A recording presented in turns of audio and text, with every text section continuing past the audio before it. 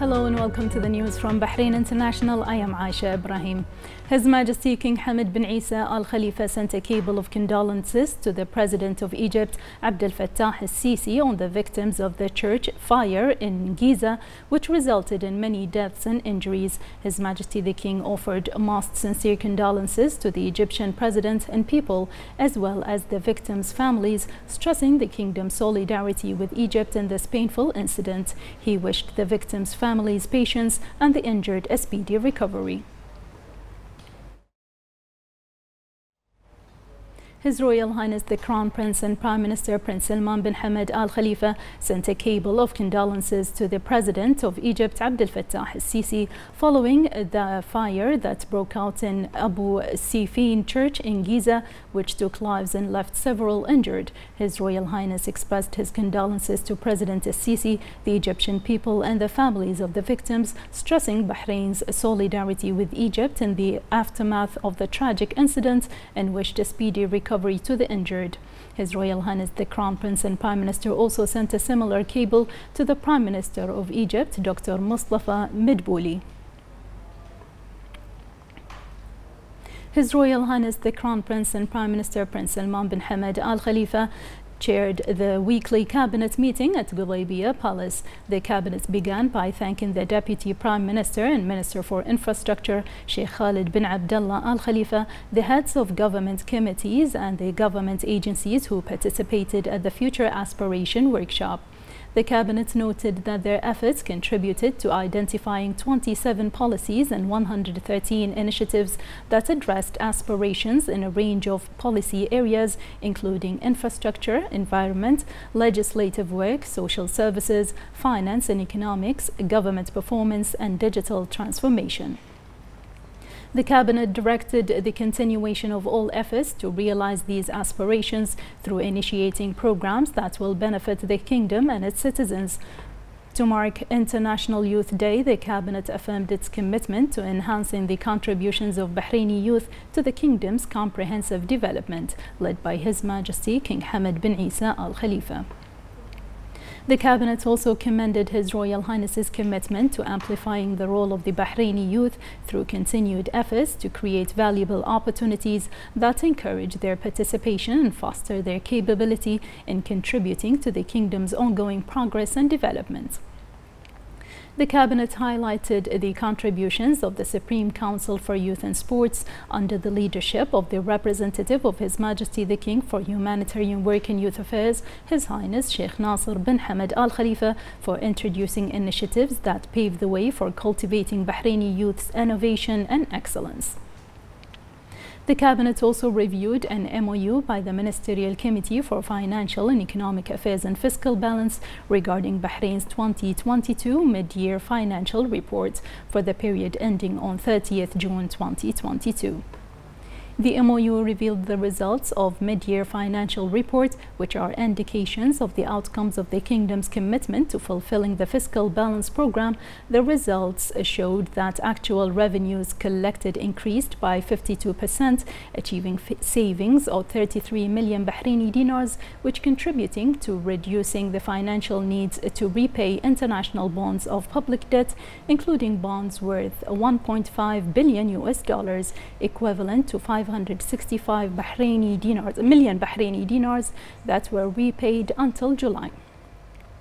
This is due to the rise in oil prices in international markets. These results are clear evidence that the government's disciplined approach to fiscal responsibility and long-term sustainability is proving effective. The Cabinet affirmed continuation of adopting initiatives and unifying efforts to achieve the objectives of the Fiscal Balance Program. The Cabinet then reviewed an MOU by the Minister of Labour regarding the latest developments in employment and training for the first half of 2022. The MOU indicated that 14,321 Bahraini citizens were employed, which represents 72% of the annual goal of the Economic Recovery Plan's priority plan to employ 20,000 Bahraini annually until 2024 and a decrease in the unemployment rate from 7.5% to 5.7%. These outcomes followed the financial and economic packages that were launched during the COVID-19 global pandemic, the Economic Recovery Plan and the launch of the National Employment Programme. The cabinet then expressed its condolences to Egypt and the families of the victims in the tragic fire that broke out in Abu Sifin Church in Giza and wished a speedy recovery to those who were injured.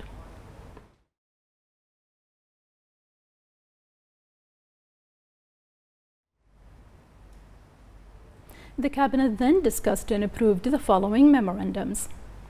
a memorandum by the Civil Service Council on the reconstruction of a number of ministries and government agencies to improve public sector performance and efficiency. A memorandum by the Ministerial Committee for Financial and Economic Affairs and Fiscal Balance on two reports regarding Bahrain's consolidated final account and the performance of implementing the kingdom's general budget for the fiscal year 2021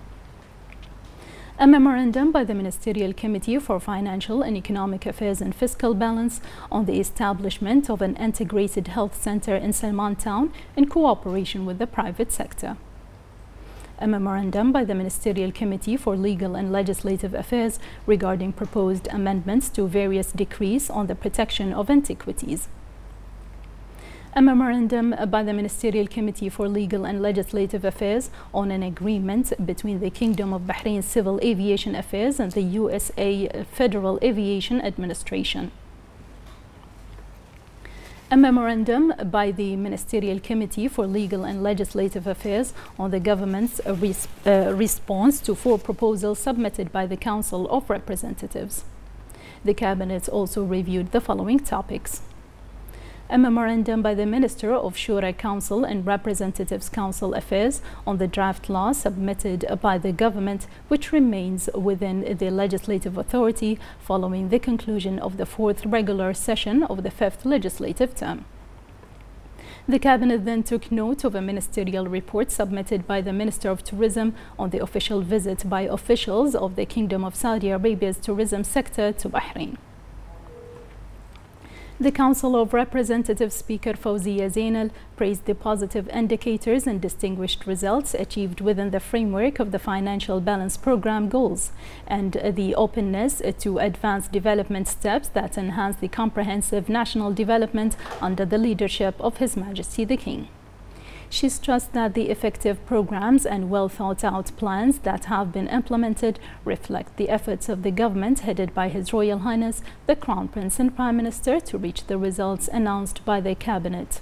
today regarding the results of the semi-annual closure of ministries and government agencies. Zainal praised the efforts of the government in achieving progress in the field of employment, which contributed to a decrease in the unemployment rate from 7.5% to 5.7%.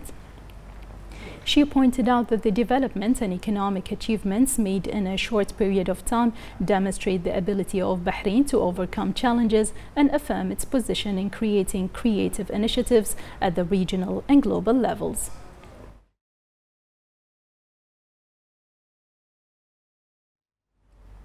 The uh, chairman of the Shura Council, Ali Saleh, affirmed that continuing to achieve the goals of the Financial Balance Program reflects the success of the government's approach in adopting innovative initiatives thanks to the support of His Majesty the King and the efforts of the government led by His Royal Highness the Crown Prince and Prime Minister. He praised the Cabinet's announcement of increased revenue by 52% in 2022 compared to the same period last year and achieving financial savings worth 33 million Bahraini dinars.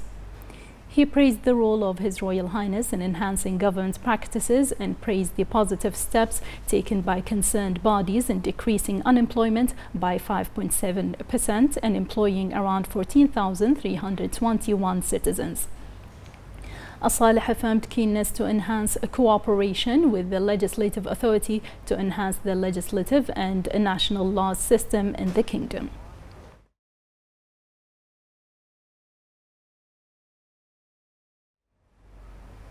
Deputy Prime Minister and Minister of Infrastructure Sheikh Khalid bin Abdullah Al Khalifa chaired the Future Aspirations Workshop, which is the final workshop in a series of Future Aspiration workshops held under the directives of His Royal Highness the Crown Prince and Prime Minister.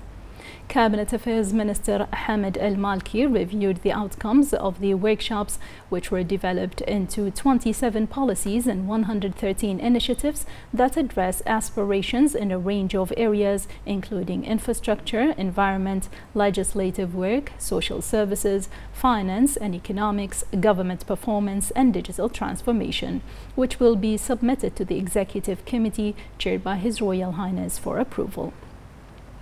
Sheikh Khalid affirmed continuing efforts to achieve comprehensive national development thanks to the directives of His Majesty the King, which are considered a roadmap for government work to serve the country and citizens.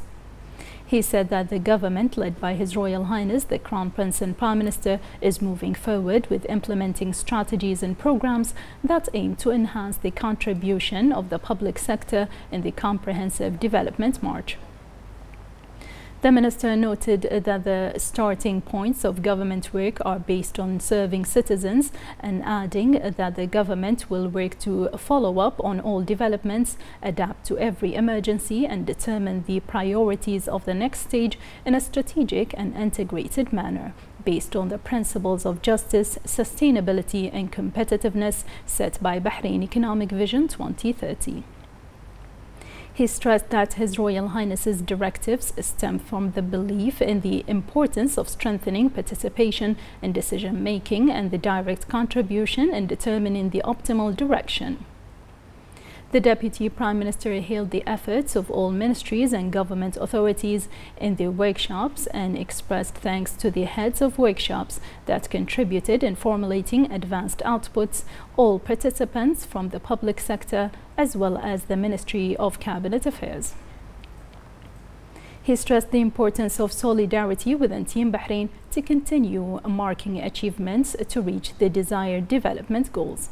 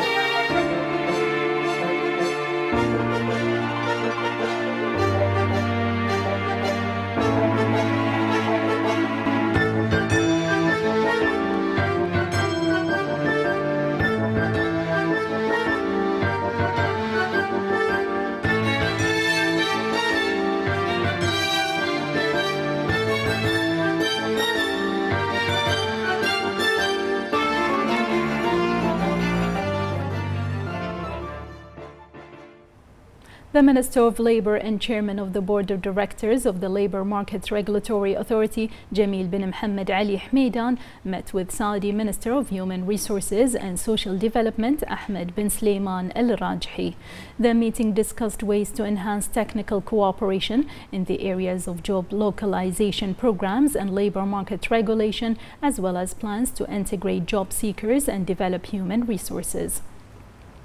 They reviewed the two kingdoms' plans in the field of training and qualifying citizens in addition to the applied professional standards. Rajhi reviewed the most important developments in the labor market in Saudi Arabia and the most important projects and initiatives launched in the framework of training and creating job opportunities, praising Bahrain's position and leadership in regulating the labor market, noting its experience in enhancing social protection for workers through the unemployment insurance system.